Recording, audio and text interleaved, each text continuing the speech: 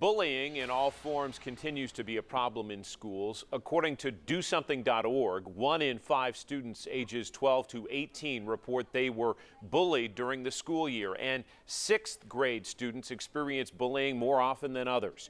Roane County Schools wants to change those statistics, and 10 News reporter Shannon Smith spent the day in Harriman and joins us with the effort to reach students in elementary schools.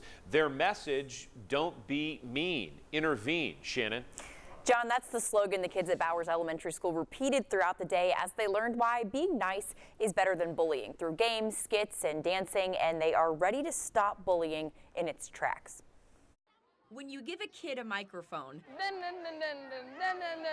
anything can happen. Oh no. The kids at Bowers Elementary School in Harriman You're nice! are using their voices for good. You're the best. To stop bullying before it happens. I think it's a lesson that we need to make sure that all of our children hear. Principal Brenda Arwood worked with Roane County Schools student support staff who planned a variety of anti-bullying lessons for the students. Talk about, you know, what it means to be a bully and how to stand up and to stop bullying and promote kindness. You guys know more about what's happening with bullying at Bowers than, than the adults could ever know. Kids talked about when bullying happens at school and how to stop it, Tell the kids' parents. and acted out the roles kids play in bullying. Hey, this is none of my business. I try not to even notice, and when I do, I pretend not to see it. The less attention I get from those people, the better.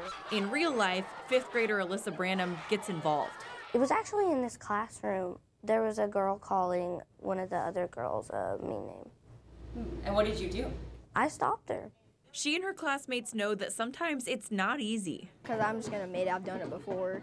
I haven't like bullied like constantly, but I've like talked mean to other people before. You think you'll try to stop that? Yeah. But that being nice is the best choice. And bullying is just not right, period.